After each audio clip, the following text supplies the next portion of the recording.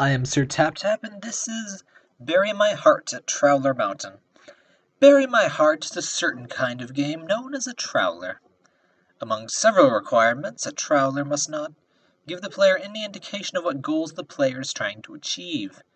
In other words, the purpose of a Trowlr is to figure out the goals of the game, and then complete the game, of course. Read the full Trowlr Manifesto to find out the requirements. That's the description of the game. Um, there is no sound at all so far. The mouse doesn't seem to do anything. So arrow keys. Ah, that was that was bad. That was also bad. That was. Uh. The arrow keys seem to be working here.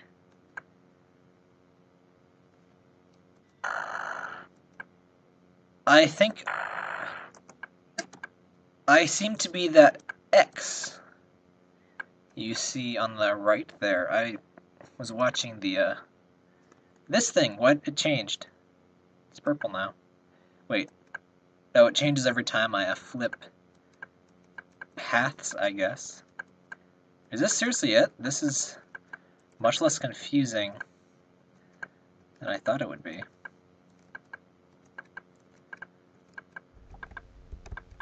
I guess I should have been watching the little X thingy instead of the... Wait.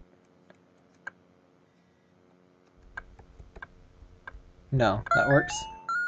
A cake in only eight tries. Press space to play again. That was... Wow, I figured that would be way harder.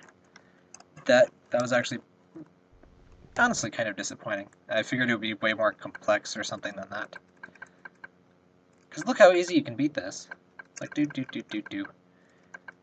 Let's go ahead and beat it with, what's it to say, zero tries?